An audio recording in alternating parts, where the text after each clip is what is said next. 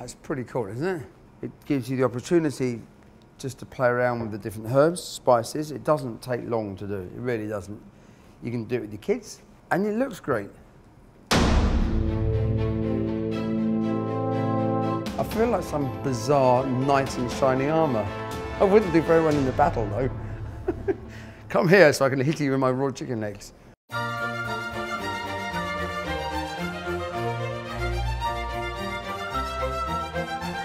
I'm Heston, Heston Blumenthal. I'm in the Munchies Test Kitchen in Brooklyn and I'm going to show you how to make something show-stoppingly beautiful. It's a chicken souvlaki using my new barbecue. So to make this chicken souvlaki, you're going to need some chicken. I always prefer using chicken thighs. They've got more juiciness to them, there's more richness to them. Chicken breasts you can use, but they will dry out. Each to his own, but any day, give me legs over breasts. So this is really so simple. Start off with, we need to make the marinade for the chicken. I'm using some olive oil, parsley leaves here, some mint leaves, so slight of Greek influence, hence the name of souvlaki, and then some of this beautiful basil that I've just picked. There, put some salt and pepper. I'm being fairly generous with the seasoning. You know, if you barbecue a big whole chicken, you get most of the flavour from the outside.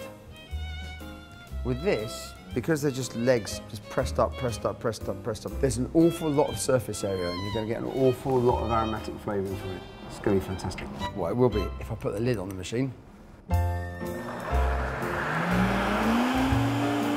Just really want to make sure it doesn't turn brown. That's normally quite a good sign when you're using green herbs.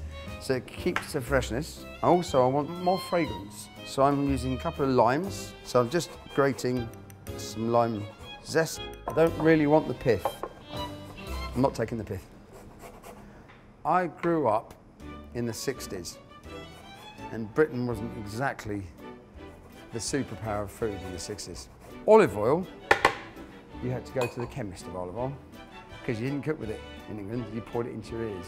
So I went to France for the first time on a holiday with my folks and I went to a restaurant and I sat under these wonderful, this Provençal valley with crickets, cheese trolleys the size of a chariot, sommelier with his handlebar moustache and leather apron, the wine list that was like something out of a Cecil B. DeMille film, it's the Ten Commandments. That was it. I fell down a rabbit hole. I fell down a rabbit hole into a multi-sensory wonderland. That was basically it. And here I am, pressing a button on my own blender. Smell that. It's fragrant. The, the, can you smell it from here? The lime. I'm going to take some of this out now because this is going to be a finishing sauce. Then I'm leaving a bit in. I might even, just because I can, put a bit more olive oil in there and some garlic cloves. So I need to puree these up.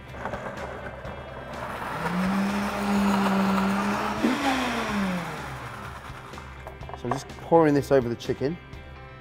The reason I've separated it is that the garlic in this mix here will really penetrate the chicken, but then this is going to be cooked. Personally, I'm not a fan of raw garlic, so I've left the garlic out of this.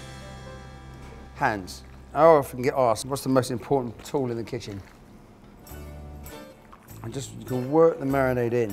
If you love cooking, which I do, I believe you transfer that same energy through the food. So now that is actually ready. I'm going to take the two clamps from the barbecue and the rod. The souvlaki now, I'm now going to assemble it. This means putting all of these boned chicken legs on this. And firstly, I'm going to use both the limes that I grated and extra one, just making a cross each end. So I'm putting these on here, which will kind of buffer the chicken to what I love about cooking is that at every step of everything we do, whether it's chopping an onion, boiling an egg, or carving a chicken, we have the opportunity to think and we have the opportunity to be creative and to imagine. We have the opportunity to change something to see how it goes. But what happens is we end up being so scared of failing that we never create. We don't need to learn how to be creative. We need to learn how to lose the fear of failure. Just give it a go. Just see what happens. So now I'm putting the chicken on the rod. The important thing is that the chicken legs don't spin around, so they'll turn with the rod. Something quite maybe weirdly therapeutic about sliding raw chicken legs onto a rod. I'm zenning out on raw chicken thighs, man. So these are now done and dusted. Put the, my other clamp on this end. That's pretty cool, isn't it? Little bit squeeze on those lines. I don't know, I really like the sound. So this big boy is now going on the grill. Very technical moment this. Put that in there, put that on there. With a special flick of the finger, I do that.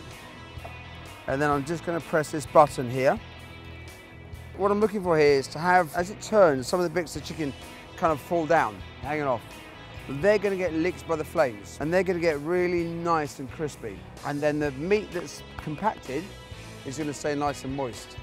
The beauty of this, this is what made human beings cooking and eating food that was cooked over fire. You can see this, you can see now this, some of the fat stripping off, you can see the smoke coming up and the smell that's changing. It's, it's just a thing of beauty. So I'm looking for 150 to 160 Fahrenheit, two to three hours. End result, beautifully charred grilled chicken that still retains incredible amount of moisture and some freshness from the marinade. Right, so I'm gonna leave this now while this is cooking. I'm gonna head back inside and just sort out a couple of, just little garnishes, a couple of bits and bobs to go with this. Okay, so one more little thing I'm gonna chuck onto the grill. Make some confit garlic. Olive oil, some garlic cloves, bit of salt, chuck it on there. So this, the idea of this is is going to be put on the edge of the grill, allow the garlic to confit. That's a posh French word that our chefs like to use, confit. I don't know it actually has an English equivalent, but it's cook and soften and caramelize at the same time. So that's going to go onto the grill. I'll put them on there point of these is so they get really nice and soft and then they're going to go into a kind of mayonnaise type thing.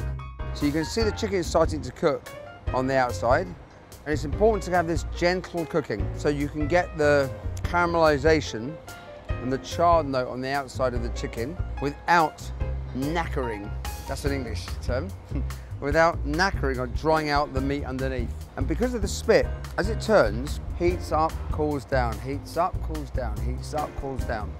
And that pulsating temperature gives a, gives a wonderful evenness to the meat. Okay, so the chicken is nicely underway. I'm just going to make a garnish, pickled cabbage. Pan, heat, hot, on. In here, sugar, vinegar. Just don't keep your face too near it, because that happens. A bit of salt. Cabbage, I'm just taking the root out. I have big memories as a kid with um, kebabs. It's a very British thing. After the pub, you loads of cabbage on it. And all the fat from the lamb drips out your fingers. Luckily, this doesn't have so much fat in it.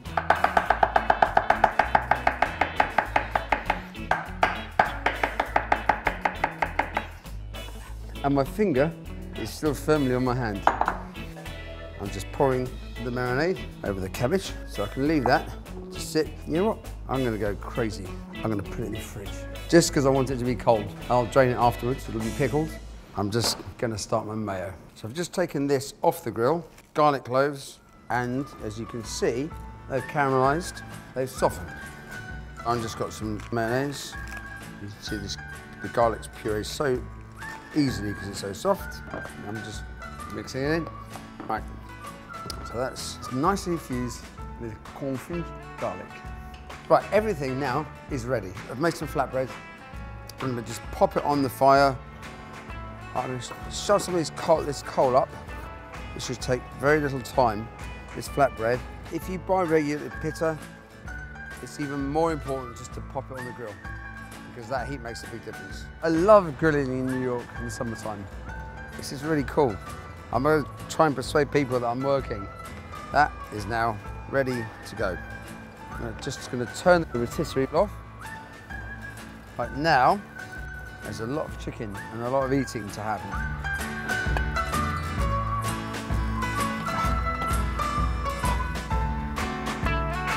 Right. Kitchen nice and clean. I've got a full glass of beer. I've got my souvlaki or my flatbread, and I'm going to just finish with the garnishes. This is the cool down pickled cabbage. Then this is some of the basil, mint and parsley marinade. And there's some confit, garlic mayonnaise. I'm to add a little bit of salt, pepper and chili sauce. Right now, I'm feeling rather pleased with myself. And even more now. I love making a mess.